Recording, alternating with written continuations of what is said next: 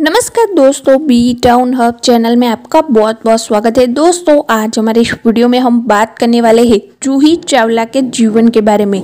तो दोस्तों, video start करने से पहले अपने इस चैनल को अभी तक सब्सक्राइब नहीं किया तो प्लीज़ सब्सक्राइब ज़रूर कर दे और साथ में बेल आइकन को ज़रूर प्रेस कर दे ताकि हमारा वीडियो अब तक पहले पहुँचे। तो चलिए दोस्तों, बिना देखते हम वीडियो को स्टार्ट करते हैं।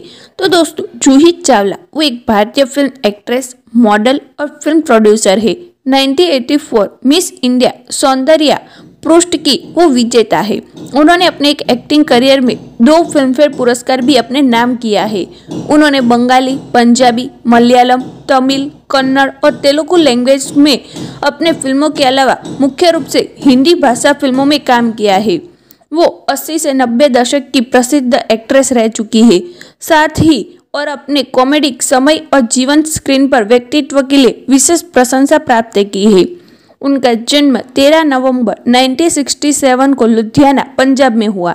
उनके पिता पंजाबी और माता गुजराती है। उनके पिता भारतीय राजस्व सेवा आईआरएस के अधिकारी थे। उन्होंने फोर्ट कॉन्वेंट स्कूल, मुंबई से अपनी स्कूली शिक्षा पूरी की है। और एचआर में विशेषज्ञता के साथ मुंबई के सीडन हम कॉलेज से स्नातक की डिग्री हासिल की है। पढ़ाई खत्म करने के बाद उन्होंने साल 1984 में मिस इंडिया प्रतियोगिता में हिस्सा लिया और अपने खिताब को नाम किया। साथ ही उन्होंने 1984 में मिस यूनिवर्स प्रतियोगिता में सर्वश्रेष्ठ कॉस्ट्यूम पुरस्कार भी जीता। जूही चावला की शादी बिज़नेस में जय मेहता से हुई है और उनके दो बच्चे भी हैं, अर्जुन और जानवी। जय मेहता और Juhi Chawla Indian Premier League team Kolkata Knight Riders के सह मालिक है, जिन्होंने शाहरुख खान के साथ अपनी कंपनी रेड मिर्च एंटरटेनमेंट के तहत भागीदारी की। उनके भाई बॉबी चावला लाल मिर्च एंटरटेनमेंट की सीईओ थे। उन्होंने अपने करियर की शुरुआत 1986 में फ़िल्म सुल्तान से की। हालाँकि यह फ़िल्म बॉक्स ऑफ़िस पर विफल रही।